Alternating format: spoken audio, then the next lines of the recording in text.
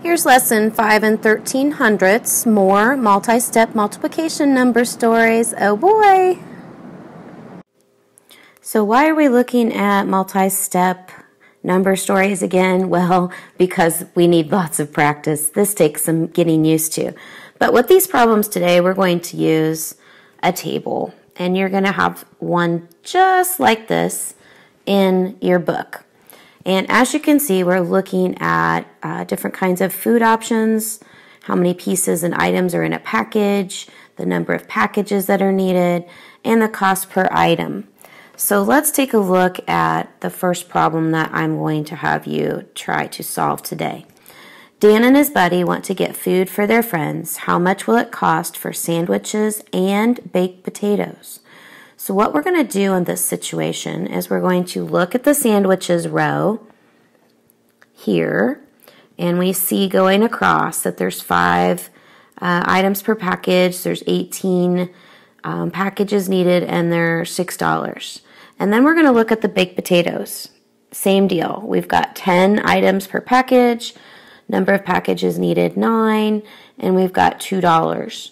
So in order to set this problem up, we're actually going to take the sandwiches, which are going to be 5 times 18 times $6, and we're going to put that in parentheses, and we're going to add the baked potatoes, which will be 10 times 9 times $2 equals X.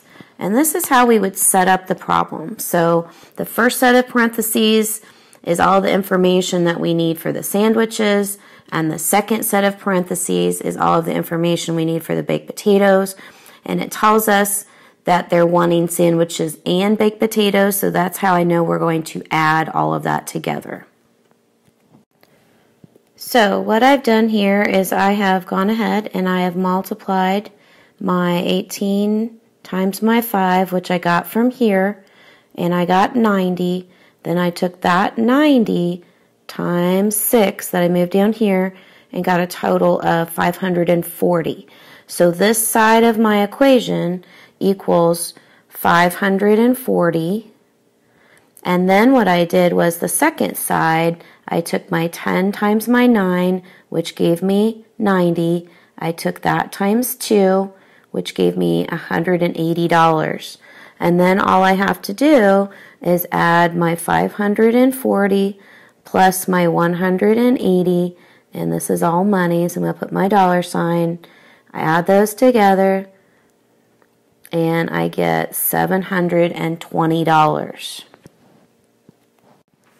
So let's take a look look at this next problem. Sally and her friend love burritos, but they are trying to decide how much it will cost for burritos and corn on the cob. How much will it cost? So again, we're going to take a look at the chart and we're going to look specifically at burritos going all the way across all of these numbers and we're going to look at corn on the cob, all of these numbers, and we've got to set up an equation. So, burritos, parentheses, 8 times 13 times $3, and we're adding them together once again.